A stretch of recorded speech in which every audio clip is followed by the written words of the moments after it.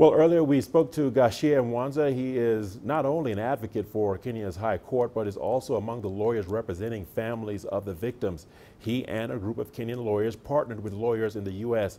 to pursue the case. He gave us greater insight into the agreement reached between both parties. Let's listen in. So what this means now is that an agreement has been reached. As you all know, uh, there are two different scenarios in determination of court cases a case can be determined by a judge. In the US, we have a provision where it has to go through a jury, and in which case it takes years. A case may take even two, three, four years. But then there's also a mode of settlement of cases, which we call mediation. Mediation is a situation where parties sort of try to agree before a mediator with a view of finding a solution in a quick way and a solution that is beneficial to both sides.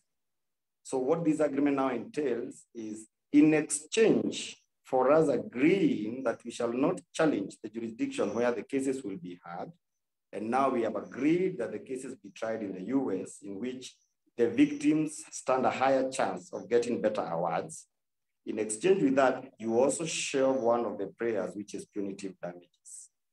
Punitive damages would have entailed punishing Boeing for the wrongs that they did. And that in itself would have had devastating effects to the company, Boeing itself. So it has saved its face. The other advantage of uh, the mediation is that now with this agreement, there is a possibility of settlement of these cases very soon through the mediation. The chances of mediation uh, finding an answer are very alive now because parties have been able to agree on quite a number of elements.